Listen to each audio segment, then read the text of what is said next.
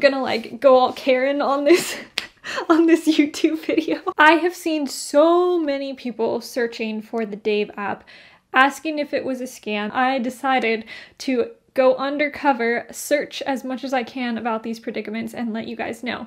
Is Dave actually a scam or is Dave legit? And if it's not a scam, then why are people saying that it is and why are they claiming that Dave is taking their money?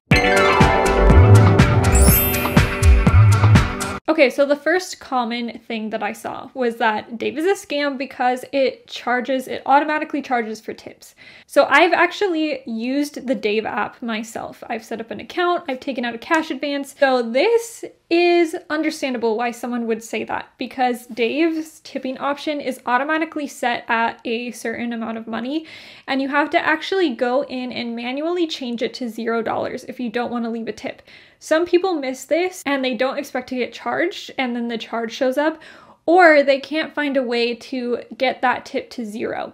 So Dave does make it a little bit difficult to manually change it. So this first problem is not a scam. It is user error mixed with Dave making things a little bit difficult, probably in the hopes that people are going to tip them, right? Okay, so the second thing I've seen floating around isn't necessarily that Dave is a scam in and of itself, but it was saying like if you don't leave a tip, you get a lower cash advance from Dave because they're trying to get tips from people.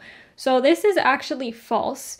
Um, the tip that you leave does not affect the amount that you earn. The tip is just extra if you want to leave it or not. So, what does affect the amount that you qualify for is your bank account history, pretty much. So, if Dave finds something in your account that it doesn't like or it doesn't like trust you, as much, it's going to give you a lower advance. So I know that Dave claims that it can give you a cash advance up to $500, but this is unrealistic for the majority of the population when they are taking out their first cash advance. In the beginning, this is with all cash advance apps, not just Dave, it's going to give you a smaller amount because you need to build trust and it's worried that you're not going to be able to pay back the amount. So why is it going to shell out $500 to somebody that it doesn't know if it can trust yet, right? By paying your cash advance on time, it's going to gradually increase the amount for you until you hit the maximum amount of $500. So don't be surprised if you don't qualify for the $500. It is not because you didn't leave a tip, it's just because you're a new user, and then also Dave is taking into account the health of your bank account pretty much. I go over more about what cash advance apps look for in terms of people getting higher amounts initially in one of my other videos. You can check that out. I will link it down below. And just because Dave gives you a smaller amount initially does not make it a scam. That brings me to another point, which is very similar to this one, which is it lies about how much money it's going to give you. A lot of people are saying it said it would give me $500 and I only have like $25 or I only qualified for $30. What happened? Like this is a scam because it's not giving me the money. First of all, these apps are not required to give you the full full amount. As we talked about earlier, initially you'll probably qualify for lower amounts first before you build trust with the app. And then the second thing is that in its advertising, although it does have the big $500 because that's flashy and a good marketing tactic, right, to get people drawn to it, it also is very clear and it says up to $500. It does not guarantee that it's $500 at all to start with. So this is just a really smart rule of thumb when you are using like cash advance apps or just any any type of marketing in general. Like always read the fine print and always assume that there's like terms and conditions that apply to things, especially things that are like giving you money. So it's understandable why people will get upset about that for sure. But again, it doesn't make Dave a scam at all. Okay, so there's also comments about people saying like, has any person actually used this app? Like there's a lot of advertising, but I haven't yet met a person who's actually like successfully taken out a cash advance. So I can debunk this one or like not even debunk it, but like I can set your mind at ease for this one that we actually did test out this cash advance and it did go smoothly. It took only a few minutes to set up. We went through the entire process. There's a video of it on my channel. And we also qualified, I think it was for $25. It might have been 35 I can't remember. Um, but that was for our first cash advance and then it ended up in our account very quickly. So now we have some personal experience proof that this app is not a scam. Okay, so I did find a YouTube video saying that Dave is not a good app to use because it donates to charity as a tax write-off and that's exploitative. I have mixed feelings about this. This is probably going to be controversial.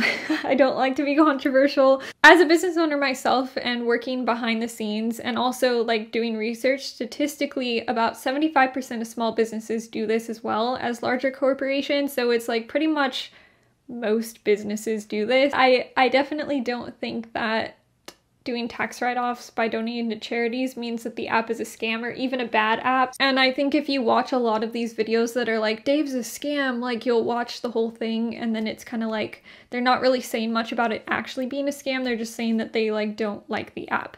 Which brings us to the last point. A lot of people hate on Dave and hate on cash advance apps in general because their argument is that you should not be in this financial situation in the first place. They'll be like, well, this is a scammy app because they're taking your money, they're charging you fees to take out money.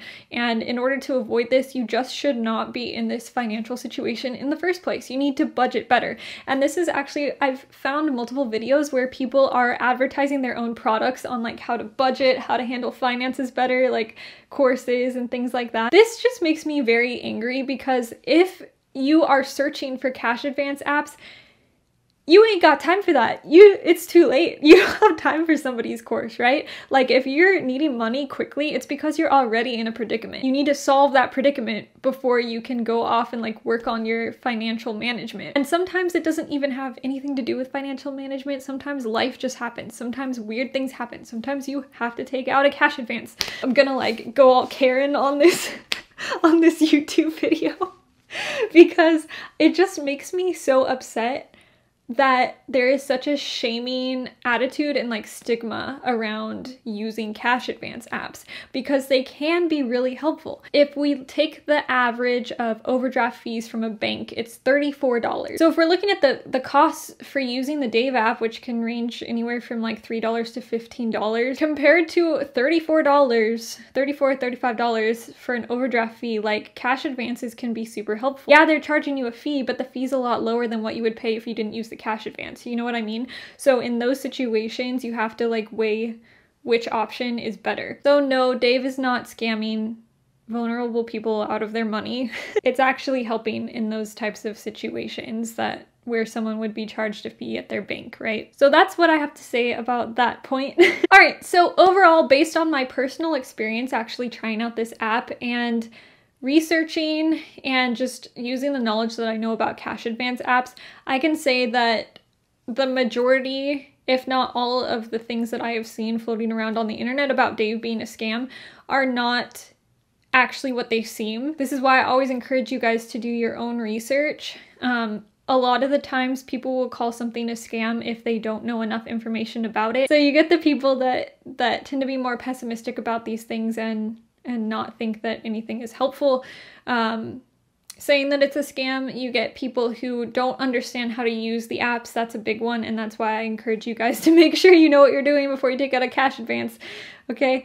Um, so there's that people that have like made user errors um, or didn't like read the fine print and then messed up. and lastly, there's people who are selling courses and stuff that will go on and will kind of create a pain point around cash advance apps by like increasing people's shame about having to use them and then offering a solution which is their own product or financial product. So those people are biased as well. Um, so overall like those were the three types of situations that i found plus from my personal experience everything went well with dave so i can say in my experience it was not a scam. Alright guys, I hope you find that helpful. Make sure you like this video and subscribe so you can stay up to date with all things cash advance. And I will talk